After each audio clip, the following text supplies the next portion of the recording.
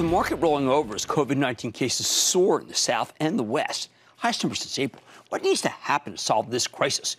We know we need testing, where we've made some progress. We know we need contact tracing, still a long way to go there. If hospitalizations keep spiking, some cities may need to go back into lockdown to prevent their healthcare systems from being overwhelmed. Most of all, though, we need a plan, a plan, a plan. So maybe we should take our cue from the states that have already done a terrific job of handling this pandemic. States like Rhode Island, which had a plan. When the Northeast was experiencing the worst outbreak in the world, Rhode Island managed to keep things contained. How'd they do it? Let's check in with Gina Raimondo. She's the governor of Rhode Island to get a better sense of what the country needs to do to get back on track. Governor Raimondo, welcome to Mad Money. Thank you, Jim. It's great to be here. All right, so Governor, you did a remarkable job taking control of the situation. Give us a couple of bullets of how you were able to do it, uh, including your involvement with the private sector that really helped. Yeah. Well, you're kind to say it was remarkable. It was really just a quick reaction to a crisis. But I think that the core of what we did was innovation, speed, and focus on the facts and practical, concrete solutions. Like you said, a plan. Um, and I have relied heavily on public private partnerships, uh, extensively. I mean, one of the first partnerships I had was with Salesforce to do our contact tracing, so it could be quickly. Their software is fantastic to do that partnered with CVS Health, which is headquartered right here in Rhode Island, to do testing, uh, which has been a huge success. Partnered with SurveyMonkey, which is a company that does surveys, which gives us data so we can stay ahead of it. Partner with Infosys to help us do an app, a Crush COVID Rhode Island app for every Rhode Islander to download. So we've been all about innovation. In, I would say innovation is the reason that Rhode Island is in such a great position. Now, you're in such a great position that I was thinking, are you willing to say right now that you would not welcome people, say, from Florida and Texas or other hotspots the way uh, governors in the tri state area said today? You know, I think it's a reasonable thing what we're doing. So let me give you a picture here, Jim. Okay. Rhode Island was nestled between New York and Boston, two hotspots. We are the second most densely populated state in the country. We were among the hardest hit in America. And so we had to get into action. Today, we are the only state in America that has tested more than 20% of our population, and our test positive rate is less than 2%. I've opened this economy two months ago, and we're still seeing a decline in cases. So, are you asking me, am I nervous about people coming from places that have a test positive rate or 10 or 15% to our state? Of course I am. And so I'm thinking about either limiting travel or having mandatory testing for people who come from a, a hotspot or possibly quarantining. I haven't decided yet exactly how to do this because I want it to be practical and enforceable. But you better believe I'm worried about it because we've worked incredibly hard and I don't want to go backwards. Well, I know the New York Times showed that you had zero new ones on tw- the 20th, zero on the 21st. Uh, the 22nd, though, you had 122, and 23rd, 74. And I was actually wondering whether that was people fleeing from states where they are afraid going to the state that's the best. You know, it's interesting. Very early on in this crisis, I took a what some would say heavy-handed approach. I actually used our National Guard to monitor cars coming in from other states, including New York, to ask them to go into quarantine if they were coming from a place like New York City that was a hotspot.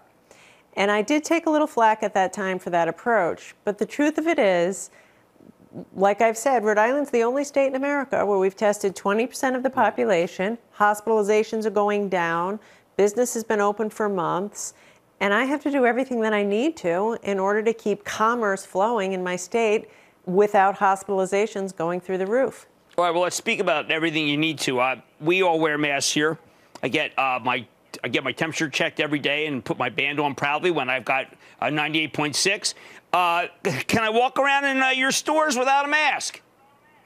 No, you cannot. I would. You're welcome to come, but you ha- yes, you know you have to wear a mask. We have ma- mandatory mask wearing And by and large, people are complying. I give a huge shout out and a big thank you to the people of Rhode Island. We do inspections every weekend of restaurants, gyms, retail shops. We're seeing 90 plus percent compliance with mask wearing. And it's a bit of a hassle, it's a change, but it really works. All right, just talk about how do you get 95% of the people uh, contact traced? Oh, you work at it. Like I said, some of it is embracing innovation. Our partnership with um, Mark Benioff and his team at Salesforce has been a game changer for us. Uh, we have all of our labs entering their information immediately into the Salesforce powered system. We have a huge team of well over 100 people full time doing nothing but contact tracing. And we have, a, we have very serious protocols around outbreaks. We define an outbreak at any facility, any workplace, as two or more people who have tested positive that are linked. If that happens, we get our team out to that facility. We have rapid testing of everyone, get everyone into isolation and contact tracing. So it, it's really what you said. Honestly, Jim, this isn't magic. This is good execution of a plan because I never again want to shut this economy down. Right, I so vowed to the people of Rhode Island we would reopen once. All right, how about URI? How about Brown? How about RISD? I want. I hope they all come back to school. I think they can do it. I've, in fact, just yesterday I was talking with some college presidents. We're holding their hand, helping them, providing support for them with testing and contact tracing so they can go back to school responsibly. Uh, they have to figure out, obviously, they have a challenge with international students. But I've said we're sending our kids back to the public K through 12 public schools. I want them going back to school in the fall. We've said August 31st. And I do think it's all possible if people wear their masks, we keep doing our testing, we're responsible and stay di- socially distanced. Well, so you've really, I mean, I, I imagine if I lived there, it's kind of like normal because you had a plan, because you're a venture capitalist, because you're a business person, uh, you work with Mark Benioff. I'm not kidding. I feel like our, we're planless in this country, completely planless, whether it be Dr. Fauci, whether it be the president, whether it be the CDC, whether it be the Surgeon General. We're, we're planless. You got a plan. Yeah, it's true. Also, you left something out. I'm a mother. Any working mom knows you need a plan to get through the day. It's it's a checklist. You don't mess around. You have people to take care of. Be practical, innovate, partnerships, get it done for the people you serve. I, all I can say is congratulations, and it is a great pleasure to have you on. Governor Raimondo. You're, really you're kind to have me. Thank you. That's Governor Gina Raimondo of Rhode Island. Uh, hey, you know what? A plan is what we really need. And money's back after the break. Don't miss a second of Mad Money. Follow at Jim Cramer on Twitter. Have a question? Tweet Cramer. Hashtag mad tweets. Send Jim an email to madmoney at cnbc.com or give us a call at 1 800 743 CNBC. Miss something? Head to madmoney.cnbc.com.